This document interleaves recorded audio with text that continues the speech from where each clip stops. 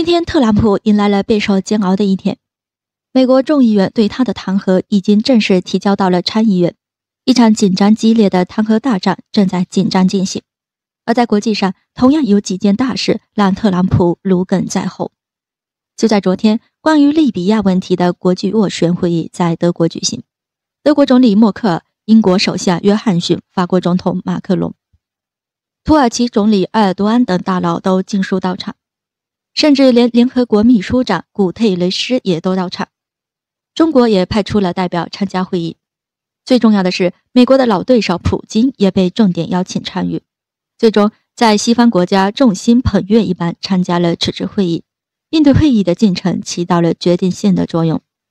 我们看到，普京和西方几个大国关系密切，相谈甚欢，大家都在为利比亚问题出谋划策。直到这个时刻，很多网友才发现，怎么不见特朗普的影子呢？原来，美国这次来参会的是美国国务卿蓬佩奥。和一直喜欢闷头发大财的中国相比，特朗普可是处处像出尽了风头的那种。而利比亚问题这么重要的会议，怎么能少得了特朗普呢？要知道，美国对利比亚问题可是格外上心。特朗普已经就利比亚问题多次表态，表达美国的立场和关切。就在前两天，美国因为利比亚问题，还差点在海上和俄罗斯发生严重对峙。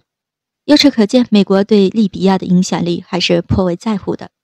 现实却是，这次重要的多国会议直接抛开了美国，而是欧盟唱起了重头戏，并且不顾特朗普的白眼，重点邀请了普京和埃尔多安，几方共同寻找关于利比亚的最终和解方案。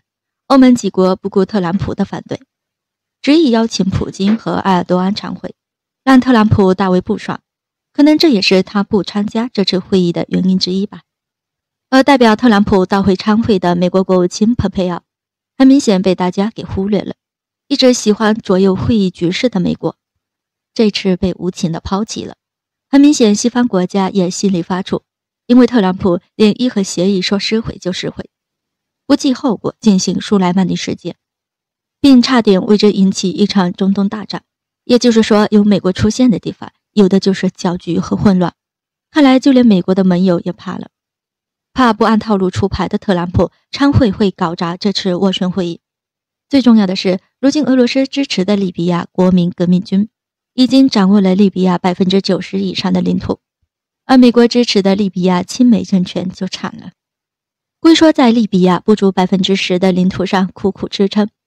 就在这种情况下，如果特朗普参会拒不做出让步，和俄罗斯发生冲突，那么这次利比亚国际会议就只能够是无果而终。而根据不按套路出牌的特朗普的脾性，这种情况完全是有可能发生。可以综合利弊之下，这一次欧盟直接抛开了美国，转而和俄罗斯和土耳其进行接触，从而达成一个各方都满意的利比亚停火协议。而事实证明，没有让特朗普前来参会是对的。没有美国搅局的这次国际问题峰会进行得非常顺利，几方已经达成了妥协和让步。纵然美国依然在世界上呼风唤雨，实力无可匹敌，而特朗普为了美国伟大，不顾其他盟友的死活，处处碰瓷、减羊毛、收保护费的行为，使得美国的形象尽毁。尤其是特朗普上任以来，过度的偏袒盟友以色列。就连国际社会公认的属于叙利亚的领土戈兰高地，也被特朗普大手一挥，直接宣布属于以色列，这让国际社会大跌眼镜，也使得美国的公信力荡然无存，也引发了中东其他国家的齐声反对。巴勒斯坦更是声称将不再和美国打交道，美国不配做裁判。一个世界大佬就在世界上四面点火，处处冒烟，弄得整个世界的局势动荡不安。试问这样的领头羊？怎么不让其他小弟能够感到心惊肉跳？特朗普的行为让很多国家都大失所望，包括自己的盟友在内的众多国家都纷纷的离他远去。很多国际会议也开始了适应了没有美国的存在。得道者多助，失道寡助，自古以来皆是如此。在国际问题上，的确是屡屡碰壁，屡屡被打脸，公信力荡然无存。所以，很多国家开始不带美国玩了。不但一些国际的重大会议悄悄地开始了去美国化，更让特朗普心惊肉跳的是，一些国家和组织也积极地开始了去美元化的进程。就在最近举行的金砖国际会议上，在俄罗斯的倡议下，金砖国家宣布了一个美国心惊肉跳的消息，那就是将逐步的用自己的货币体系替代美元。而在此前，由于美国对伊朗实施的石油制裁和美元制裁，法国、德国、英国宣布与伊朗推出 a n s t a x 绕过美元继续与伊朗进行商业来往。这似乎让伊朗安了一点心。但是为了防止特朗普发难，虽然推出了 a n s t a x 但却没有怎么投入运营，这让伊朗不爽。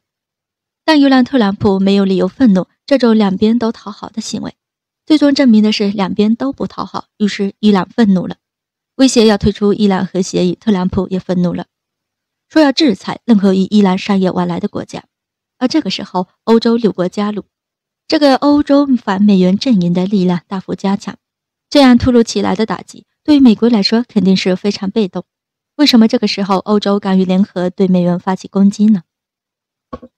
一是为了维护欧洲的利益，现在的伊朗处境艰难，在美国的制裁下，伊朗的经济衰退很厉害，尤其是最近伊朗国内发生的大规模的骚乱，这种大骚乱持续下去，伊朗的局势更加让人担心了。